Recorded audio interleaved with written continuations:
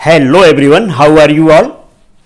I hope you all are enjoying good health, good learning. आज हम लोग class ten English book first flight के poem के बारे में जानते हैं पोयम का नाम है ए टाइगर इन द जू यानी एक टाइगर है बाघ है चिड़ियाघर में इसके पोएट हैं लेस्ली नॉरिस।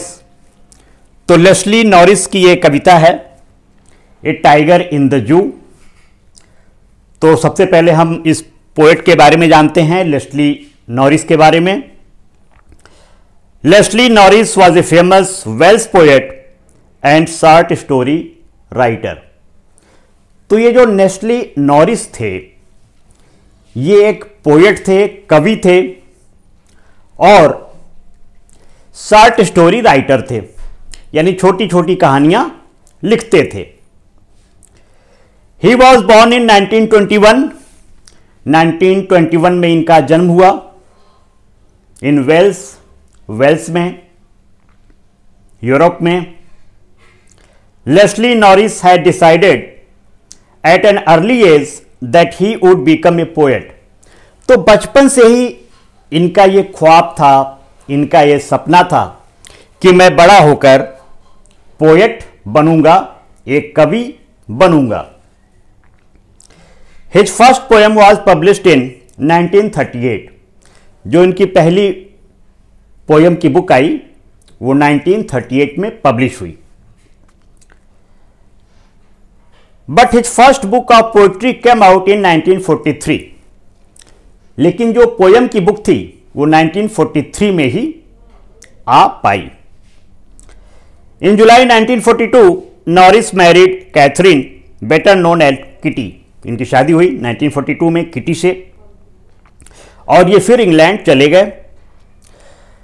तो इस पोयम में एक टाइगर इन द जू में लेस्ली नॉरिस ने जो टाइगर है, उसके बारे में बताया है, दो तरह के टाइगर का कंपेरिजन किया है। एक टाइगर जो कि चिड़ियाघर में है जू में है, और एक टाइगर जो कि जंगल में है। दोनों के बिहेवियर में क्या अंतर है? ये लेस्ली नॉरिस ने इस पोयम के माध्यम से बताया है। तो सबसे पहले हम देखते हैं first stanza he stalks in his vivid stripes. The few steps of his cage on pads of velvet quiet in his quiet rays. अब देखिए जो टाइगर है, जो चिड़ियाघर में टाइगर है,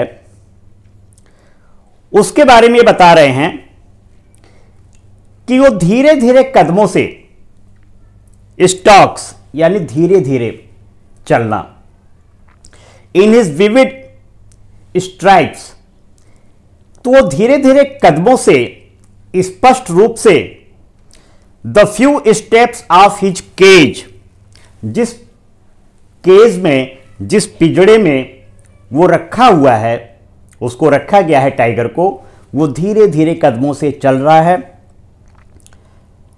On pads of velvet quiet और जो पैट्स है, जो उसका पैर है, जो पॉ है आपको मालूम है कि कितना मुलायम होता है? जैसे वेलवेट, जैसे मखमल। और जब टाइगर चलता है तो उसके पैर इतने मुलायम होते हैं कि उससे आवाज़ नहीं आती है। बिल्कुल शांति से टाइगर चलते हैं।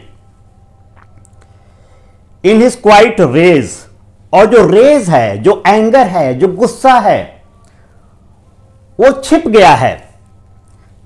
जो टाइगर के अंदर रेज है, एंगर है, गुस्सा है, वो चिड़ियाघर में, जू में छिपा हुआ है और वो सीधे कदमों से धीरे धीरे उस जू में, उस अपने बाड़े में, उस अपने केज में चल रहा है। अब देखिए second stanza he should be lurking in shadow अब सेकेंड स्टैंडा में पोएट लेस्ली नॉरी से बता रहे हैं कि अगर यही टाइगर जंगल में होता फॉरेस्ट में होता तो उसका बिहेवियर क्या होना चाहिए था? यहाँ पे ही लिखा हुआ है एच ई ही प्रोनाउन ये ही टाइगर के लिए प्रयुक्त हुआ है। टाइगर को ही लिखा गया है। He should be lurking in shadow lurking यानी घात लगाकर।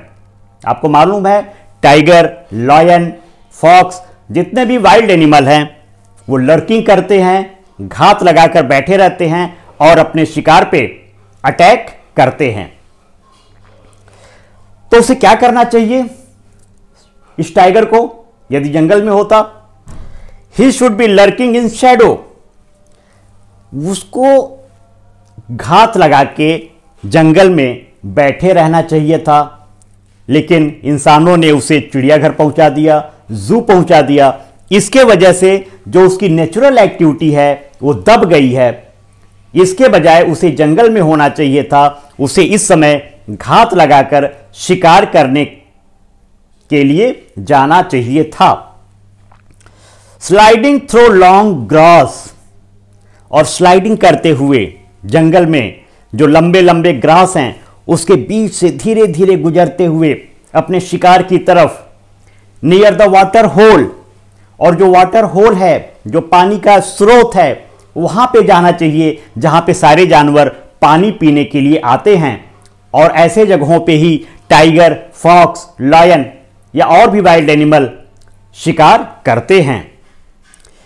वेयर प्लम्प डियर पास और ऐसे वाटर के स्रोत पे जाकर के जहाँ पे जो डियर है, जो हिरन है, जो मोटे और ताजे हिरन हैं उनका शिकार करना चाहिए था।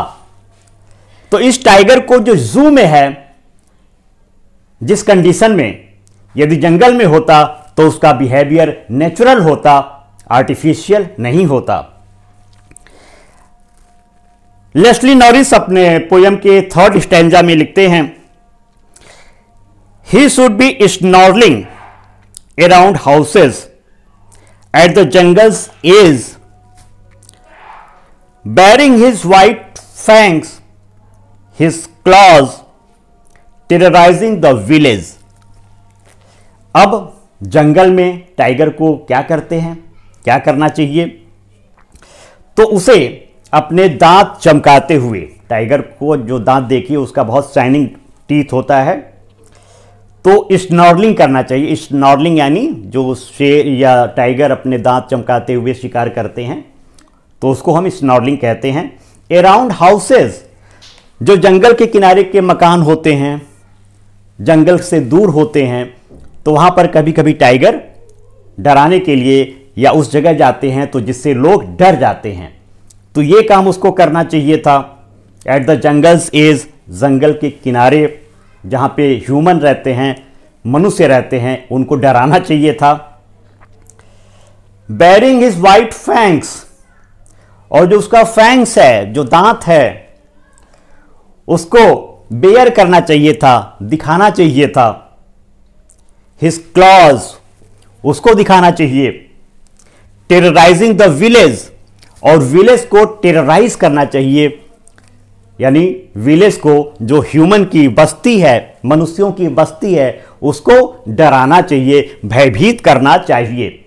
ऐसा लेस्ली नॉरिस लिखते हैं। कि ये टाइगर का नेचुरल फिनोमिना है नेचुरल नेचर है। अब हम देखते हैं फोर्थ स्टैंडा में।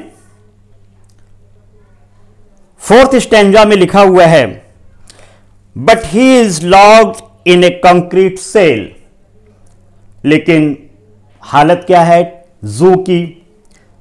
जू में, चिड़ियाघर में एक सेल बना हुआ है, एक पिजड़ा बना हुआ है। वो किसका है? कंक्रीट का है।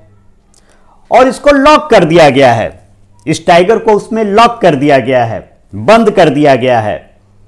हिज स्ट्रेंथ बिहाइंड बार्स, जो उसका स्ट्रेंथ है, टाइगर की जो शक्ति है, वो तो दब गई जेल में, बार्स में, पिजड़े में।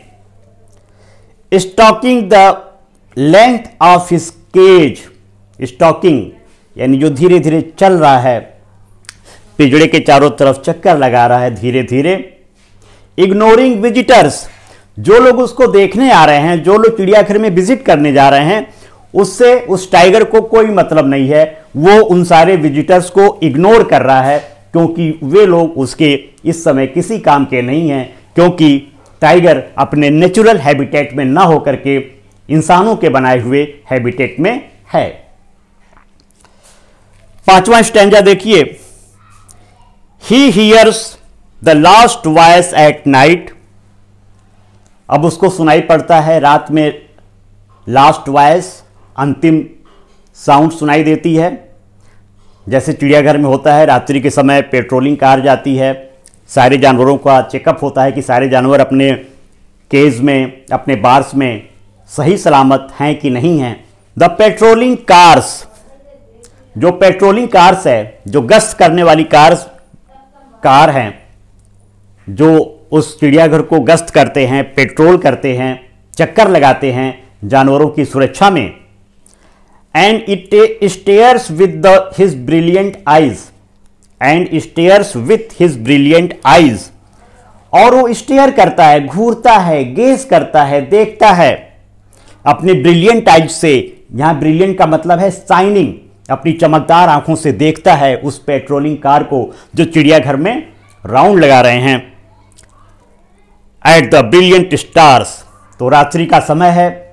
अपनी साइनिंग आइज़ से वो देखता है। और अपने ब्रिलियंट आइज़ से उस रात्रि में ब्रिलियंट स्टार्स को देखता है। तो इस तरह से आप देखते हैं।